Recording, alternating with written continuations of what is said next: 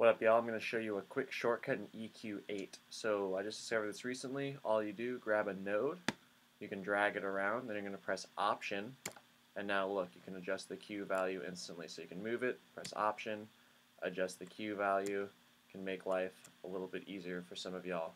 Um, that is it. Peace.